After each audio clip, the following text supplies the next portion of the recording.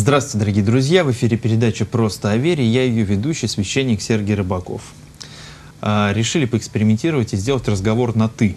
Разговор на троих, когда мы э, тремя друзьями, тремя отцами, э, тремя сыновьями, как мы это выяснили в прошлый раз, э, разговариваем об, об отцовстве, родительстве, мужественности, и как, собственно говоря, этого всего в своей жизни достичь. Как и прежде, говорим с отцом Николаем Зининым и отцом Тихоном Схановым. Здравствуйте, Здравствуйте. отцы Здравствуйте. и сыновья. Про разговор как на это- избежать? Про разговор на это он э, про меня намекнул. Потому что я, да, на прошлой передаче об- обратился как «ваш», а потом думаю «ваш». Как неловко так спрашивать уже. На «вы» обращаться ну, как-то уже странно. Я бы хотел, опять же, перекидывая мостик из прошлой передачи и соединяя ее, э, сказать, спросить, вернее, бросить для размышления тему. Почему не все мужчины умудряются стать отцами? Не в физиологическом плане. То есть они родить ро- рожают, а отцами стать не могут. Вот такая фраза была «умудряются не стать отцами». Как можно умудриться вообще не стать отцом? Это надо мудрость иметь. Да, мудрость надо уметь, чтобы не получилось. Все. Иди, вот ты отец, нормально, все. Хороший отец. Ну, и что мы можем сказать? Ну, вот мы наблюдаем, например, а, незрелых мужчин. Э, Не помню кто, в начале 20 века женщина, социолог и психолог, по-моему, написала книгу «Вечный мальчик». Не читал, отец? А, где она э, тогда еще пророчески, она говорит, сейчас все движется по тому пути, что когда-то мы придем в мир э, абсолютно зрелых э, физиологически, биологически мужчин, ну то есть им будет, например, там 40, 50, и незрелых э, ментально, духовно, то есть они будут там 11-летними мальчиками, запертыми в тело уже достаточно зрелых мужчин. А, То же самое касается и отцовства. То есть вот почему-то, ну, я думаю, что у вас э, опыт есть исповедования, личных разговоров, бесед с людьми, когда приходит, например, жена Ну да, только вчера прям тяжело слушал. Ну, прям про отцов несколько раз. Вот. Говорят.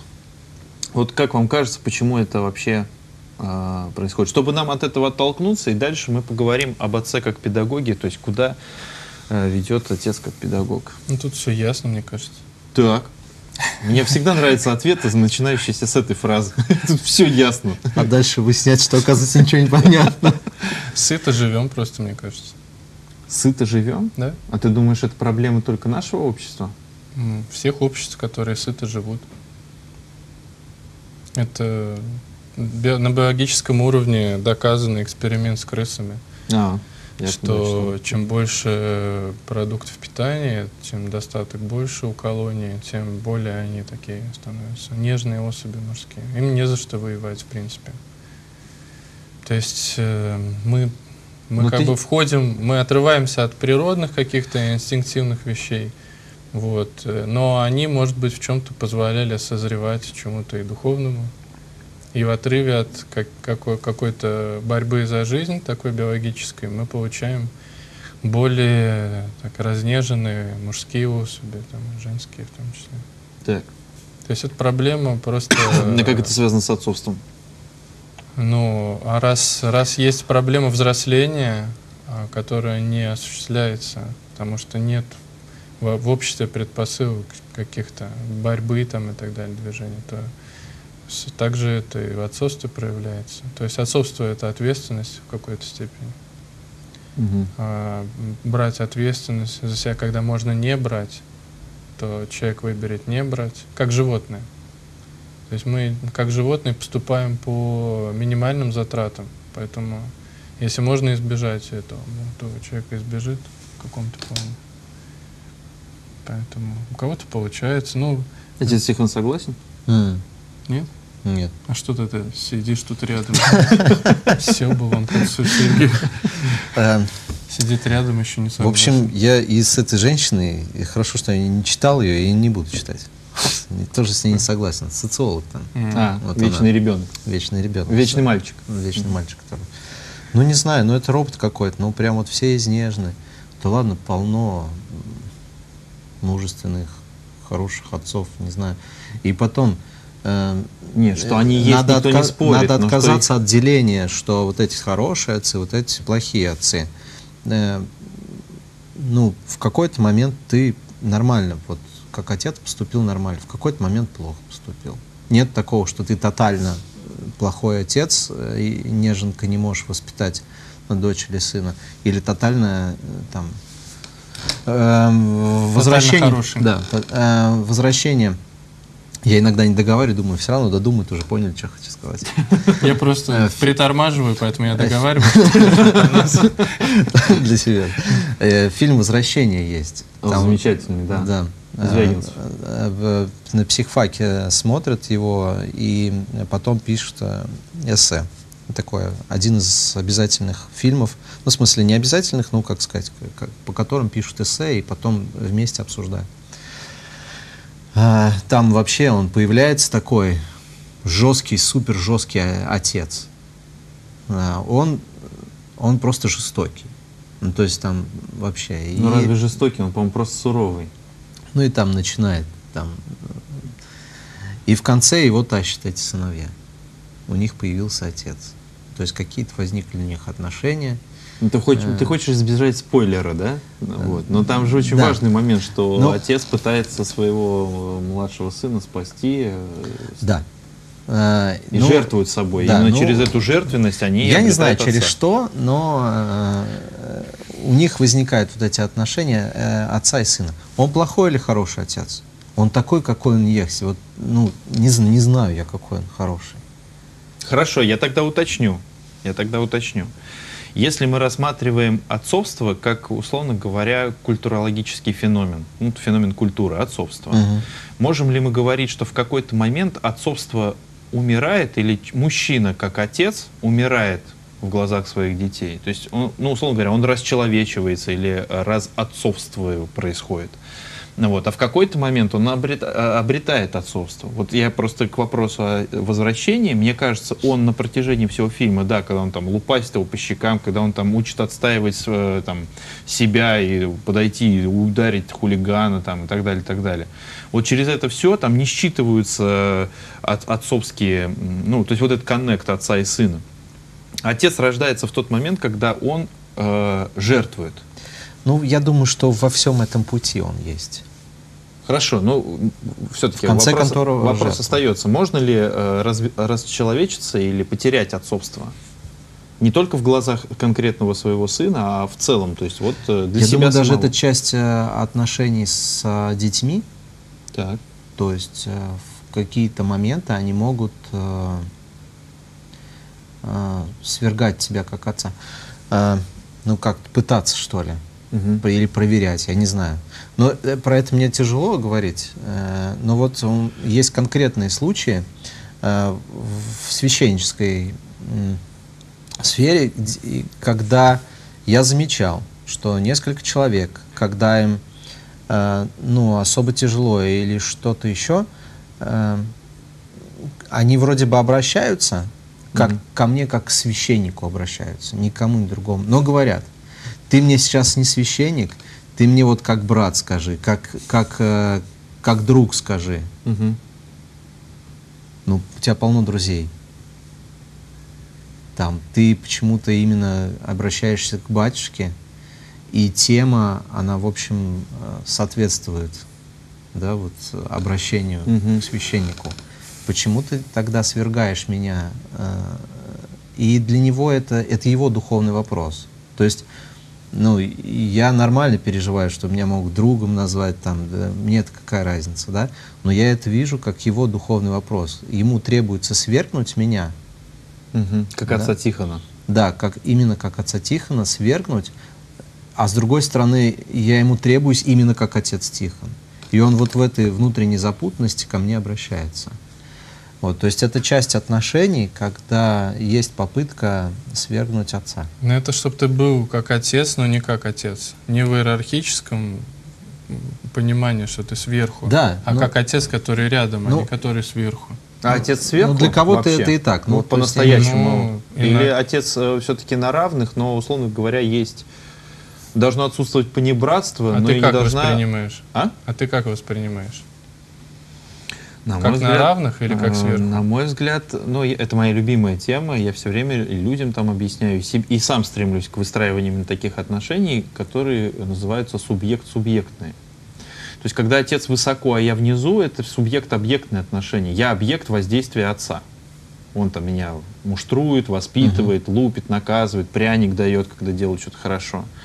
Когда, например, я использую его, да, там, ну, условно, если переводить на более понятные, когда мои дети ко мне подходят и, условно говоря, просят у меня за что-то прощения, то они реально меня обидели, допустим, э, что-то сделали такое, что меня очень расстроило.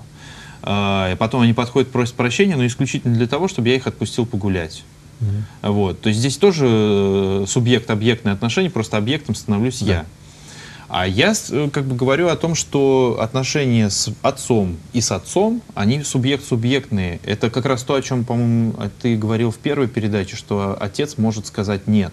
Да. Это как раз уважение э, пространства субъекта, что когда я разговариваю, например, с, э, с вами, вы можете со мной спорить, вы можете со мной не соглашаться, и это не разрушает наших э, тесных уз дружеских там и так далее. То есть, когда я за субъектом, а, и он, что самое важное, это он тоже за мной, как за субъектом, оставляет право с ним спорить, с ним не соглашаться и так далее. Да? Да, все, правильно. Так значит, не сверху. Не сверху. Поэтому, когда... А человек, когда приходит в церковь, это батюшка, это как сверху. Поэтому он попросил тебя сверху слезть, Да. встать рядом. Но это то есть не я разрушение отцовства, а просто Ну, на, э, на он должный как- уровень, как бы. И, но опять, если мы возвращаемся к практике э, рецепции нашим сознанием, там, многовековым, то у нас-то и же на небеси. То есть мы же все равно его туда загнали обратно наверх. Но мы же понимаем одновременно, когда начинаем комментировать тему небеса и небесного царства и так далее. Комментарии это мы как угодно можем. Ну, конечно. что имеет- Сам текст наполнен уже опять иерархией, что он сверху над нами. Поэтому, да, иногда Он хочется, сверху чтобы он спустился. Он сверху оттуда, над стал. нами как доминирующий, или он сверху над нами, как вот помнишь, когда начинается книга Бытия, и Дух Святый носился над водой, носился как наседка. Наседка тоже сверху, но она сверху для того, чтобы согревать, и в конечном итоге, чтобы ты вылупился из яйца. Не знаю. Вот. Я вот к чему... Но она тому- не вот сверху, она рядом. Как же? Он накрывает же собой. Она же не летает сверху. Она сидит, то есть она в контакте все равно. Ну, не знаю, тут сложный вопрос для меня. Я вот э, просто я к чему? Э, к тому, опять же, что Александр Филоненко здесь приходит на помощь, который... э, Незримо. Незримо предстоит, да. Э, кото- Который э, интересную вещь сказал.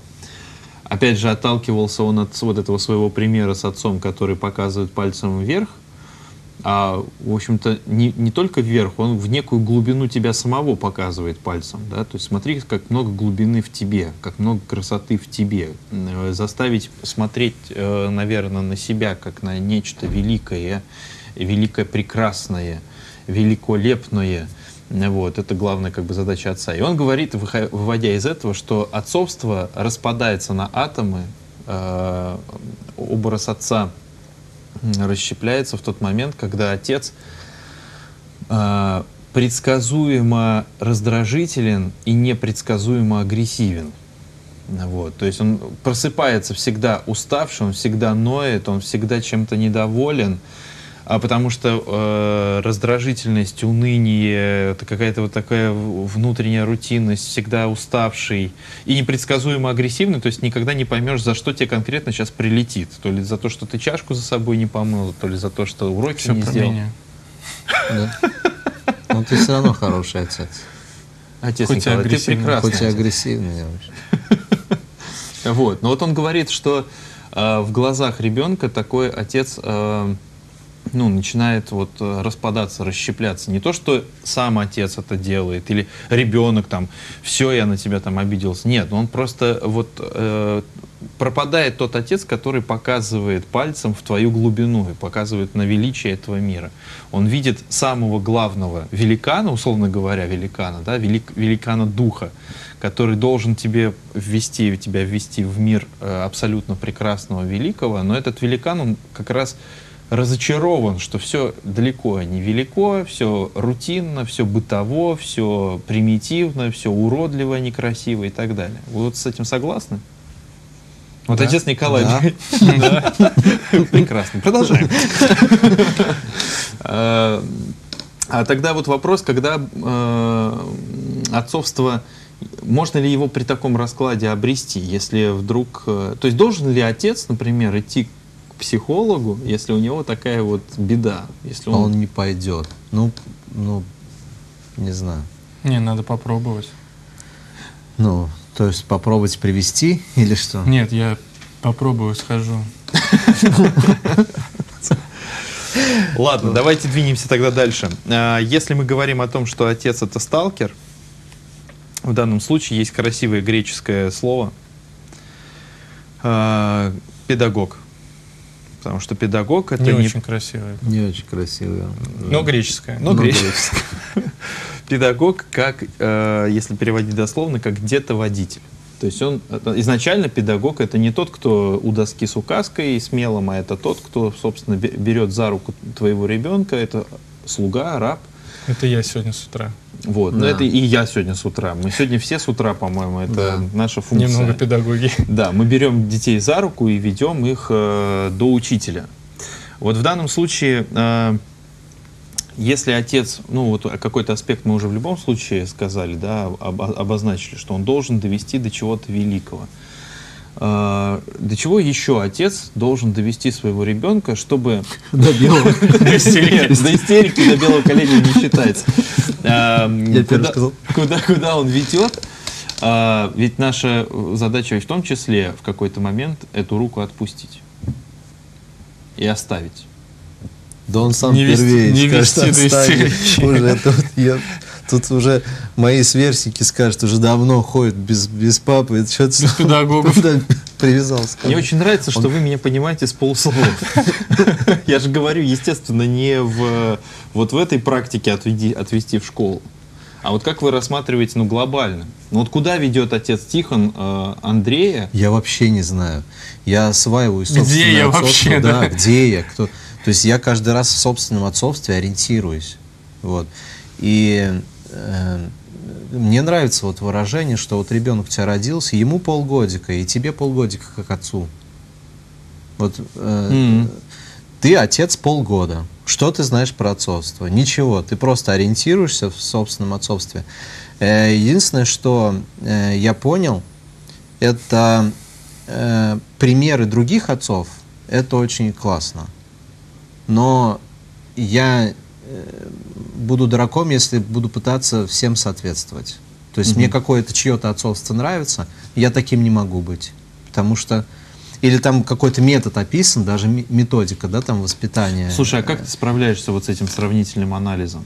Я вот постоянно смотрю на кого-то, причем на, на вас я тоже иногда смотрю, я понимаю, елки, Ты как, просто же, нас дома не видел. как же я хочу, вот, ну вот смотри, какой отец Николай. Надо онлайн-трансляцию запустить, чтобы Сергей успокоился по поводу нашего отцовства. Ну как, вот как вот реально? Помогите мне хорошо, как мне выйти Надо- из этого ну, сравнительного э, анализа? Как, ты, как тебе это Надо удается? понять, что в чужом отцовстве нет меня. В, в методике не описан я, который будет ее применять. Мгм. То есть возьмем книжку, там написано, вот так вы ведите себя с детьми там, или еще что-то. Но там не описан ни мой ребенок, ни я сам. Ни мой характер, ни, привыч, ни привычки, ни моя социальная ситуация, ни моя история, ни темперамент. Ничего там в этой методике не написано. Как, что я буду применять, я не знаю. То есть, получается, это в любом случае движение в потьмах? Да. Ну, то есть это, да, это вот ориентируешься. Я здесь как отец, не как отец. Ну, естественно, ты смотришь э, на других и просто они помогают тебе вот э, ориентироваться, в, собственно, вот там вот этот отец, он такой вот, и он вот таким вот становится отцом. Интересно, вот так он ориентируется, ладно. А это вот отец другой, а я какой? Ну и вот начинаешь как-то ну, подходить с любовью к этому процессу, что ли, и изучать. Не все вообще получается. Вот, э, смотришь, думаешь, вот классный отец, там, с сыном, вот, пошел на турники, все, там, да, вообще, сын там за ним стремится, там, классно. Я же рассказывал, да, мы приходим с алтарником на спортплощадку, Мгм. там начинаем это Мгм. турники, там отжиматься. Я говорю, сынок, пойдем, давай. Да, пап, я поснимаю это с телефона, это вас там. всё». Посижу тут. Он говорит, Нет, мне нормально, я здесь, я не буду. Облом? Вот и вот облом. Он Что ты в этот момент чувствуешь? обламывает. Я в этом э, в Когда ты этот ведешь, момент а э, там чу- упираются ногами. я прям так. «Фух, Так, во-первых, растет мужчина. Ну и как бы, ну да, вот у меня облом. Да, вот. И я обламываюсь. И дальше, ну, надо задать вопрос, э, ну, что там, а сын у меня какой? А что ему интересно? Ну и тогда это не субъектно-объектные, Мгм. да? Тогда и не фантазии свои хочу воплотить в наши отношения, и потом так, да, я соответствую образу отца, да, который мне понравился.